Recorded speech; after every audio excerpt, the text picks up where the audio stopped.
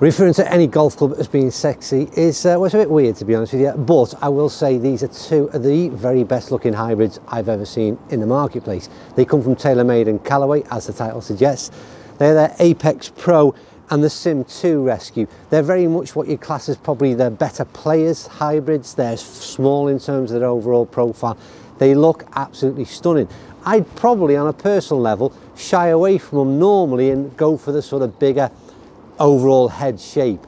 But I'm going to see if I can get some numbers out of these things to persuade me to put one of these in the bag because on a looks perspective, they go straight in there, either one of them. Now, in many of the recent reviews, you'll know that when I talk about splitting drivers in terms of performance, they're virtually all very much at a level. They all perform very, very similar. I do think there's been changes in things like irons, in fairways, and in clubs like these into hybrids. I do think that's where we've seen some advances in technology and that's what I'm going to look at today in these two. But they're very much different at address is the key thing to mention here. Really nice in terms of the top line, but very, very different. I'm really in favour, and I always have been if you watch the channel, this sort of classic almost uh, teardrop look that has been adopted in the Sim 2. But the way they finished it off in terms of that uh, gloss thick uh, top line and fading it into that crown I think is really so so nice at address. And I also criticise the bottom end of the sim drivers and that is completely the opposite in terms of the rescues because it looks again superb. Real quality finish to it and honestly I just wish they'd have put exactly the same finish on the bottom of the driver as they have into these hybrids. You go into the Callaway and like I said it's an odd shape. I'm not used to them um, it's kind of almost a high toe end. You see a lot of the club face at address.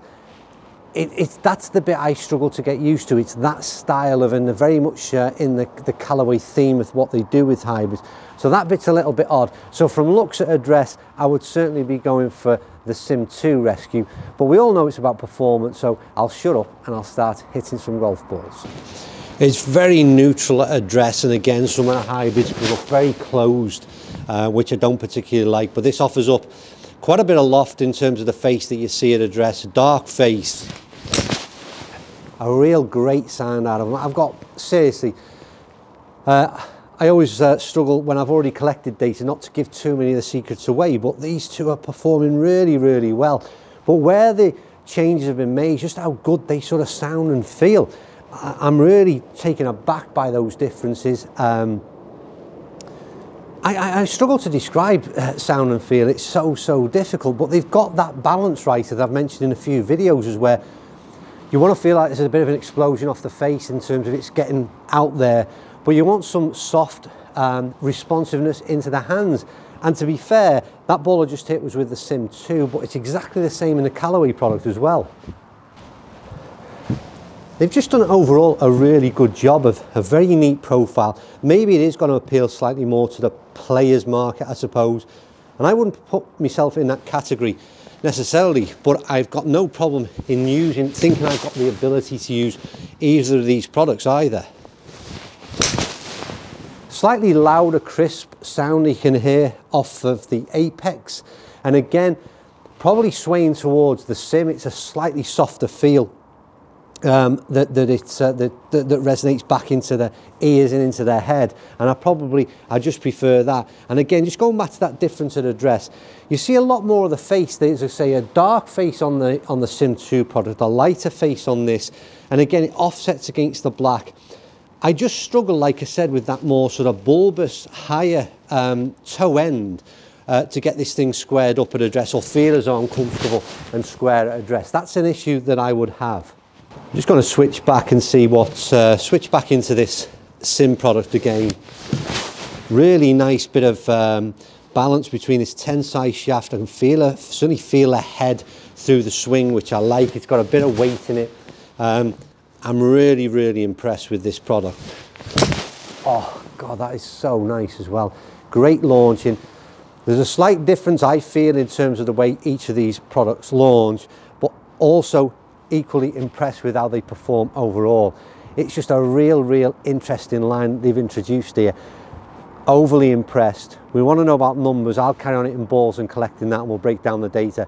But let's have a quick look at what's gone into both of these products in terms of their tech spec. Right, in terms of tech spec, it's going to be fairly brief. We'll look at both models and I'm going to pretty much read from the uh, TaylorMade and Callaway websites respectively. Um, we've got a new leading edge on the TM product, different sole geometry, optimized CG, all the things you'd expect to hear.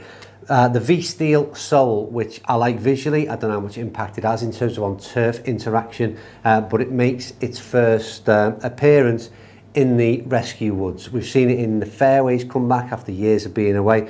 I like it visually, but I don't know what it does in terms of performance-wise. It's a forged face, and we've also got twist face, which we all know about by now.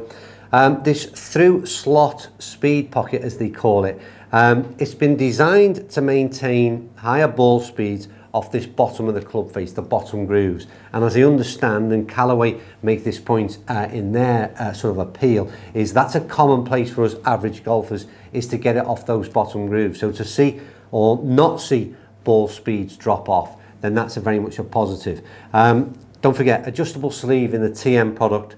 It's available in three different heads, a two, a three and a four, and that's 17, 19.5 and 22 degrees of loft but then with that adjustability. Um, into the Callaway head, which I've got a sort of uh, a, a, deconstructed um, Callaway head. And what it really see, what, what you see inside of there is the uh, the jailbreak. Um, it's now called they're called jailbreak velocity blades.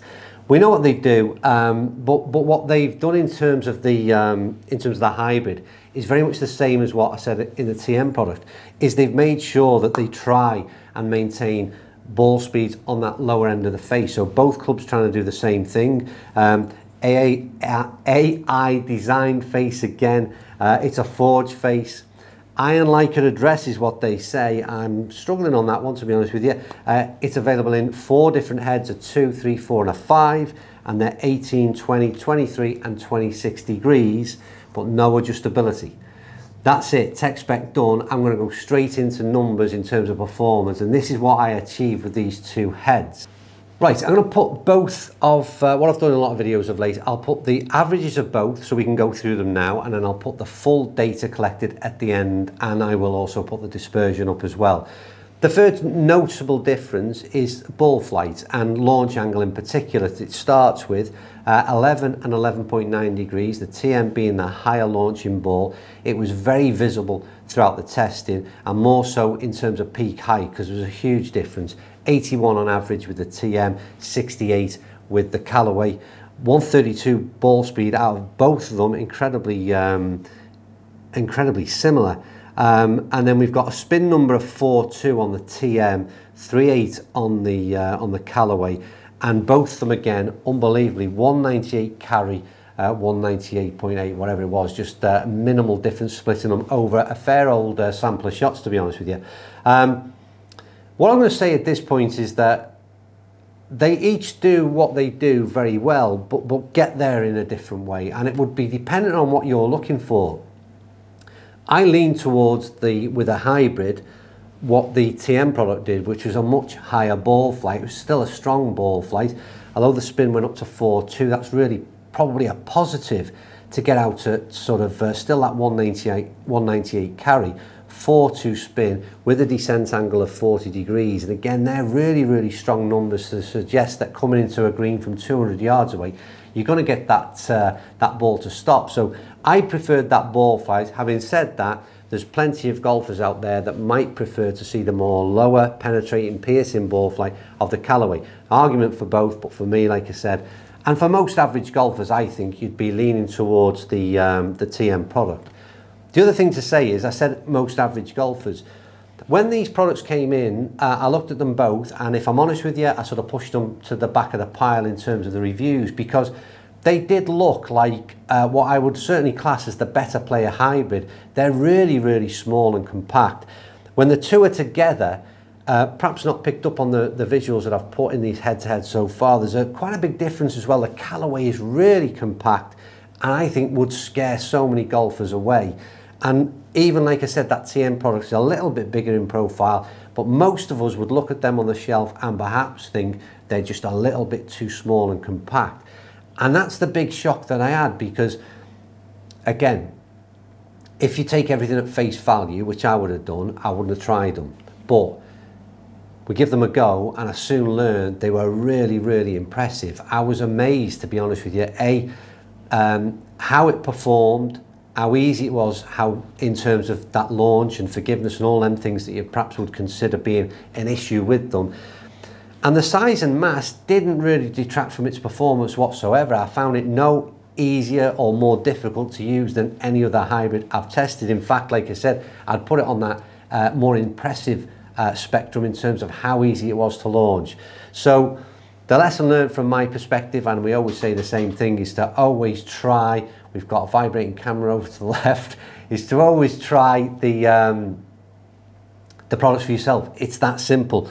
And don't be put off by I think I think the manufacturers are guilty of categorizing products. They put them into a pigeonhole, which straight away says, "Well, I'm not a better player, or I'm not a game improvement type of player. Well, I'm not a high handicapper, therefore I shy away." We shouldn't be doing that. A golf club is a golf club. You should pick it up on its own merits and uh, and give it a bash. Don't dismiss them. Uh, I've got no more to say really, apart from the fact that I think the TM product would be a clear winner based on the overall package of what it did in terms of performance and in terms of looks, it's probably the best looking hybrid. I'm trying to think of others as I'm speaking, probably the best looking hybrid I've seen on the market to date. It's absolutely stunning. Right, that is me done. A quick shout out again, uh, massive thanks for the people who a couple of nights ago we launched our website with merchandise for sale for the first time. I know that with some of the products we're getting really low on stock and potentially when this video goes out on Friday night we might be out of stock. So I can't thank everybody enough uh, for buying what they did. But if you if you've not been yet then take a look over. It's the averagegolfer.co.uk uh, we'd appreciate any support you can uh, you can give over on that platform. Right thanks for watching. Uh, subscribe if you don't already and uh, I'll see you all soon. Should be Monday night